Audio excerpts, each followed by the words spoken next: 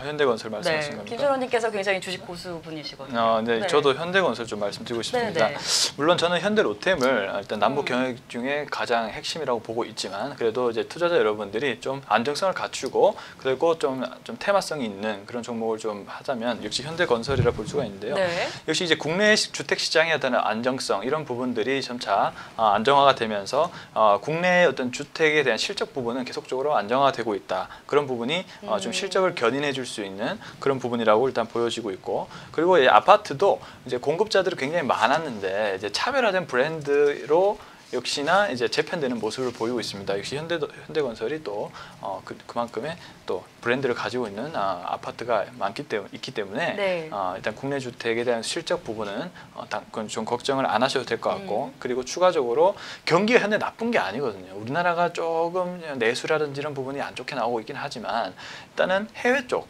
같은 경우는 실적이 좋죠. 그래서 해외에 대한 유가에 대한 상승에 있어서의 어떤 현대건설의 추가적인 해외 플랜트에 대한 수주 이런 부분들도 나오게 된다면 음. 추가적인 실적에 대한 가능성이 높아지지 않을까 이렇게 생각이 들고 있고 네. 거기에다가 남북 경협에 대한 모멘텀까지 이렇게 고려를 하시면 될 것 같다는 생각이고요. 그래서 목표 주가를 일단은 어, 7만 원 정도. 왜냐하면 음. valuation까지도 고려를 해야 되기 때문에 네. 그리고 이제 손절 가격을 한 5만 2천 원 정도를 잡고 대응을 하겠습니다.